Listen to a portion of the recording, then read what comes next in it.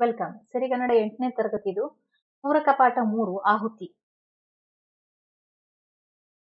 ನಾನು M pass ಆಗಿದ್ದೆ. ನನ್ನ ತಂದೆ ತಾಯಿಯವರು ನನಗೆ ಮದುವೆ ಮಾಡಬೇಕೆಂದು ಹೆಣ್ಣು ಹುಡುಕ್ತಿದ್ರು. ಅಂತೂ ಕಡೆಗೆ ಹುಡುಗಿಯು ನಿಶ್ಚಯವಾದ್ಲು. ನಮ್ಮ ಮನೆಯಿಂದ ಹನ್ನೆರಡು ಮೈಲಿ ದೂರದಲ್ಲಿದ್ದ ಒಂದು ಹಳ್ಳಿಯಲ್ಲಿ ಅವಳ ಮನೆ.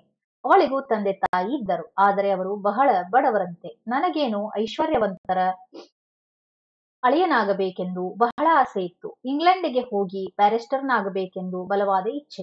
ಇಂಗ್ಲೆಂಡಿಗೆ ಹೋಗಬೇಕಾದರೆ ಹಣ ಬೇಕು. ನನಗಾಗಿ ತುಂಬಾ ಹಣ ಖರ್ಚು ಮಾಡುವಷ್ಟು ಅನುಕೂಲ ನನ್ನ ತಂದೆಗಿರಲಿಲ್ಲ.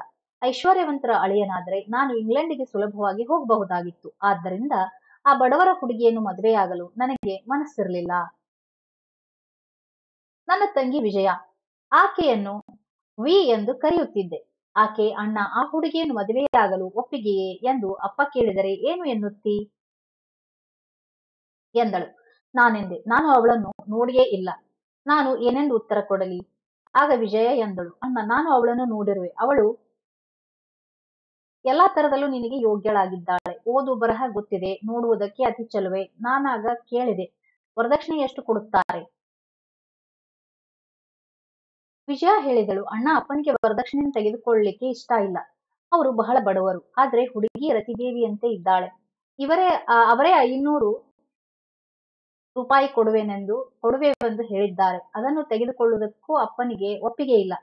ನಾನು ಹೇಳಿದೆ, ವಿ, ನನಗೆ ಲಂಡನ್ಗೆ ಹೋಗಿ ಲಾ ಕಲಿಯಬೇಕೆಂದು ಇಚ್ಛೆ ಇದೆ. ಅದಕ್ಕಾಗಿ ಖರ್ಚು, ಖರ್ಚನ್ನು ಕೊಡುವುದಾದರೆ ಮಾತ್ರ ನಾನು ಹುಡುಗಿಯನ್ನು ಮದುವೆಯಾಗುತ್ತೇನೆ. ಇಲ್ಲದಿದ್ದರೆ ಇಲ್ಲ. ಎನ್, ಆಗ ವಿಜಯ ಅಣ್ಣ, ನೀನು ಎಂಎ ಪದವೀಧರ. ನಿನ್ನ ಬಾಯಿಂದ ಇಂಥ ಮಾತು ಹೊರಡಬಹುದೇ? ನಿನ್ನನ್ನು ನೀನು ಮಾರಿಕೊಳ್ಳ ಬಯಸುವೇಕೆ ಎಂದು ಸ್ವಲ್ಪ ಕೋಪ, ಕೋಪದಿಂದಲೇ ಕೇಳಿ ಒಳಗೆ ಹೊರಟು ಹೋದಳು. ಜಪ ಮಾಡಿ ಹೊರಗೆ ಬಂದು ಕುಳಿತಿದ್ದೆ. ನನ್ನ ತಂದೆಯು ಜಪ ತೀರಿಸಿ ಹೊರಗೆ ಬಂದರು.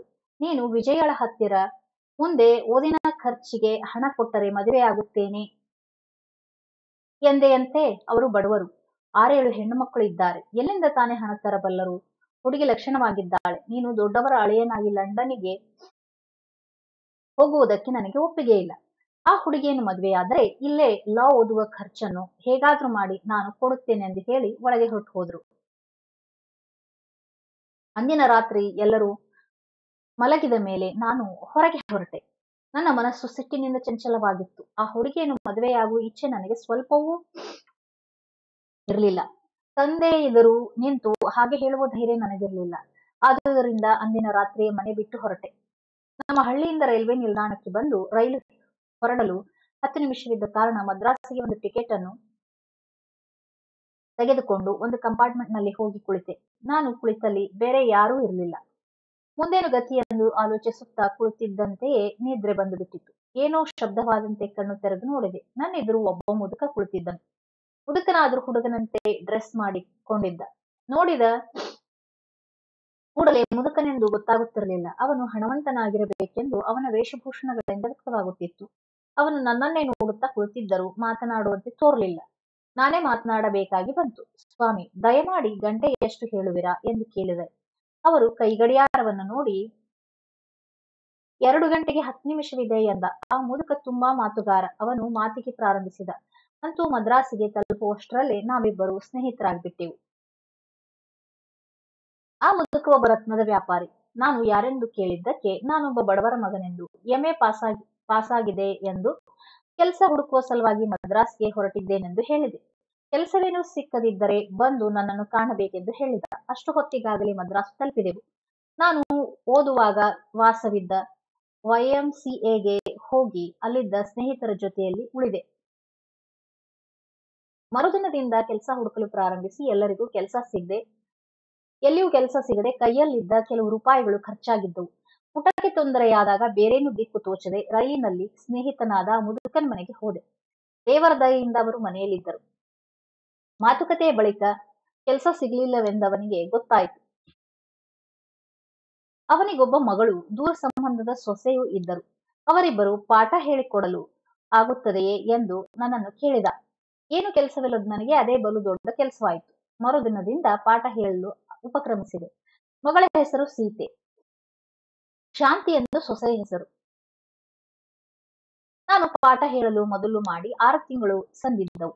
ಹುಡುಗಿಯರಿಬ್ಬರು ಚೆನ್ನಾಗಿಯೇ ಪಾಠ ಕಲಿಯುತ್ತಿದ್ದರು. ಆದರೆ ಶಾಂತಿಯಷ್ಟು ಚುರುಕಾಗಿ ಸೀತೆ ಕಲಿಯುತ್ತಿರಲಿಲ್ಲ. ಶಾಂತಿಯ ಸೌಂದರ್ಯ ಮತ್ತು ಸೌಂದರ್ಯವನ್ನು ಆವರಿಸಿದ್ದ ದುಃಖ.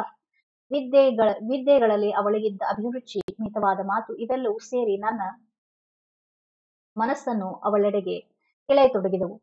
ಅವಳ ತಂದೆ ತಾಯಿಯರು ಅಷ್ಟೇನು ಅನುಕೂಲಸ್ಥರಾಗಿರಲಿಲ್ಲ. ಮಗಳ ಮದುವೆಗೆ ಬಹಳ ಪ್ರಯತ್ನ ಪಡುತ್ತಿದ್ದರು. ಬಡತನದ ದೆಸೆಯಿಂದ ವರದಕ್ಷಿಣೆ ಕೊಡಲಾರದೆ ಇನ್ನೂ ಮದುವೆಯಾಗಿರಲಿಲ್ಲ. ನನಗಂತೂ ಯಾವಾಗಲೂ ಶಾಂತಿಯ ಜಪವೇ ಆಯಿತು. ಮದುವೆಯಾದರೆ ಅವಳನ್ನು ಮದುವೆಯಾಗಬೇಕೆನಿಸಿತು. ಅವಳನ್ನು ಮದುವೆಯಾದರೆ ಲಂಡನ್ನಿಗೆ ಹೋಗಲಾಗುತ್ತಿರಲಿಲ್ಲ. ಆದುದರಿಂದ ಅವರ ಅವರನ್ನು ಮರೆಯಲು ಪ್ರಯತ್ನಿಸತೊಡಗಿದೆ. ಎಷ್ಟೆಷ್ಟೋ ಪ್ರಯತ್ನಿಸಿದರೂ ಅವಳ ಸದ್ಗುಣಗಳು ನನ್ನ ಮನಸ್ಸನ್ನು ಅವಳೆಡೆಗೆ ಎಳೆತೊಡಗಿದವು. ನಾನು ಸೀತೆಯನ್ನು ಮದುವೆಯಾಗಬಹುದಿತ್ತು. ಎಷ್ಟೋ ಸಾರಿ ಅವಳ ತಂದೆ ನನ್ನನ್ನು ಹಾಸ್ಯಕ್ಕಾಗಿ ಅಳಿಯ ಎಂದು ಕರೆಯುತ್ತಿದ್ದರು. ನಾನು ಅವರ ಅಳಿಯನಾದರೆ ಲಂಡನ್ಗೆ ಹೋಗಬಹುದಿತ್ತು. ಆದರೆ ಎಂದಿನಿಂದ ಶಾಂತಿಯನ್ನು ಪ್ರೀತಿಸತೊಡಗಿದೆನೋ, ಅಂದಿನಿಂದ ಹಣಕ್ಕಾಗಿ ಪ್ರೇಮವನ್ನು ಬಲಿ ಕೊಡಬಾರದೆಂದು ನನ್ನ ಮನಸ್ಸು ಹೇಳುತ್ತಲಿತ್ತು ಒಂಬತ್ತು ಗಂಟೆಯಾಗಿತ್ತು. ನಾನು ಪಾಠದ ಕೋಣೆಯಲ್ಲಿ ಕುಳಿ, ಕುಳಿತು ನನ್ನ ಶಿಷ್ಯರಿಬ್ಬರನ್ನು ಎದುರು ನೋಡುತ್ತಿದ್ದೆ. ಬಾಗಿಲು ತೆರೆದ ಶಬ್ದವಾಯಿತು. ತೆರೆದ ಬಾಗಿಲಿನಿಂದ ಒಳಗೆ ಹೊಕ್ಕಳು ಸೀತೆ. ಶಾಂತಿ ಸುಳಿವಿಲ್ಲ. ಅವಳನ್ನು ಕಾಣದೆ ಮನಸ್ಸಿಗೆ ವಿಷಾದವಾಯಿತು. ಆದರೆ ಕೇಳುವ ಮೊದಲೇ ಅವಳೇ, ನೋಡಿ ಮೇಷ್ಟ್ರೆ, ನಿನ್ನೆ ರಾತ್ರಿ ಶಾಂತಿ ತಂದೆ ಬಂದು ಅವಳನ್ನು ಊರಿಗೆ ಕರ್ಕೊಂಡು ಹೋದ್ರು. ಯಾಕಂತ ಗೊತ್ತಿದೆಯೇ? ಮದ್ವೆಗೆ? ಎಂದಳು. ಆಗ ನನಗೆ ತಿಳಿಯಿತು, ಶಾಂತಿ ಇಲ್ಲದೆ ನಾನು ಬದುಕಿರಲಾರೆನೆಂದು ಮೊದಲೇ ಅವಳ ತಂದೆ ತಾಯಿಯರನ್ನು ಕೇಳದಿದ್ದುದಕ್ಕಾಗಿ ನನ್ನನ್ನು ನಾನೇ ಅಳಿದುಕೊಂಡೆ. ಹಣದಾಸೆಯಿಂದ ನನ್ನ ಜೀವನವನ್ನು ನಾನೇ ಮಣ್ಣುಗೂಡಿಸಿಕೊಂಡ ಮೇಲೆ ಗೊತ್ತಾಯಿತು.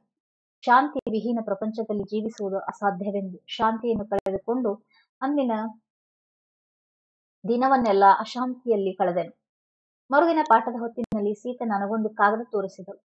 ಶಾಂತಿಯ ಕಾಗದವನ್ನು ಓದಿದೆ. ವರದಕ್ಷಿಣೆಯನ್ನು ಕೊಡಲಾರದ ತಂದೆ ತಾಯಿಯರು ನಾಲ್ಕು ಜನ, ಮೊಮ್ಮಕ್ಕಳಿರುವ ಮುದುಕನನ್ನು ಮದುವೆಯಾಗಲಾರದೆ ಆತ್ಮಹತ್ಯೆ ಮಾಡಿಕೊಂಡಿದ್ದನ್ನು ಓದಿ, ಶಾಂತಿಯಂತಹ ಸ್ವರ್ಣ ಪುತ್ಥಳಿಯನ್ನು ಕೊಡುವುದು ಅಲ್ಲದೆ ಅವಳೊಡನೆ ವರದಕ್ಷಿಣೆಯನ್ನು ಕೊಡಬೇಕೆಂದು ಕೇಳಿದ ನೀಚನನ್ನು ಶಪಿಸಿದೆ.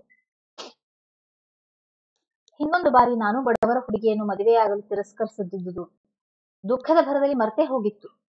ವಿಧಿಯನ್ನು ದೂರದ ಬದಲು ನಾನೇ ನನ್ನ ದುರಾಸೆಯನ್ನು ಬಿಟ್ಟು ಶಾಂತಿಯನ್ನು ಮದುವೆಯಾಗಿದ್ದರೆ ಆ ಮುದ್ದು ಬಾಲೆ ಈಗ ಸುಖವಾಗಿರುತ್ತಿದ್ದಳು. ನನ್ನ ತಪ್ಪಿಗಾಗಿ ನನ್ನನ್ನು ನಾನೇ ಜರಿದುಕೊಂಡೆ. ವರದಕ್ಷಿಣೆ ಎಂಬ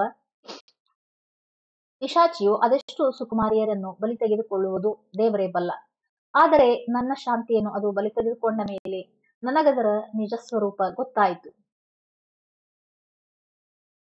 ಅಂದಿನ ರಾತ್ರಿ ಊರಿಗೆ ಹೊರಟೆ. ಮರುದಿನ ಬೆಳಗಿನ ಹೊತ್ತಿನಲ್ಲಿ ಮನೆಗೆ ತಲುಪಿದೆ. ನಾನು ಹೋಗುವಾಗ ಅಮ್ಮ ಅಂಗ ಸಾರಿಸಿ ರಂಗವಲ್ಲಿ ಇಡುತ್ತಿದ್ದಳು ನನ್ನ ತಂದೆಯು ವಿಯು ಒಳಗಿದ್ದರು. ಅಮ್ಮನೊಡನೆ ಮಾತನಾಡಿ ಒಳಗೆ ಹೋದೆ. ನಾನು ಅಲ್ಲಿ ನಿಲ್ಲದೆ ನನ್ನ ಕೋಣೆಗೆ ಹೋದೆ. ಅಲ್ಲಿ ವಿಜಯ ಒಂದು ಚಿತ್ರವನ್ನು ನೋಡುತ್ತಾ ನಿಂತಿದ್ದಳು. ನನ್ನನ್ನು ಕಂಡು ಈ ಚಿತ್ರವನ್ನು ಬಿಚ್ಚಿಟ್ಟಳು. ಆಗವಳು ತಾನು ನೋಡುತ್ತಿದ್ದ ಪೇಪರ್ ಅನ್ನು ನನ್ನೆದುರು ಎಳೆದು, ನೋಡುತ್ತಿದ್ದುದು ನೀನು ಕೊಂದ ಹುಡುಗಿಯನ್ನು ಎಂದಳು. ನನಗೆ ಬಹಳ ಆಶ್ಚರ್ಯವಾಯಿತು. ಪತ್ರಿಕೆಯನ್ನು ಆತುರದಿಂದ ತೆಗೆದು ನೋಡಿದೆ. ಶಾಂತಿಯ ಚಿತ್ರ. ಅದರ ಕೆಳಗೆ ವರದಕ್ಷಿಣೆಗೆ ಆಹುತಿ.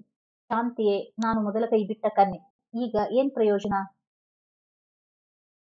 ಇಲ್ಲಿಗೆ ಈ ಪಾಠ ಮುಗಿತು. ದಯವಿಟ್ಟು ನನ್ನ ಚಾನಲ್ ಸಬ್ಸ್ಕ್ರೈಬ್ ಮಾಡ್ರಿ ಬೆಲ್ ಐಕನ್ ಒತ್ತಿರಿ. ಪ್ಲೇಲಿಸ್ಟ್ ಸೇವ್ ಮಾಡ್ಕೊರಿ. Thank you very much bye bye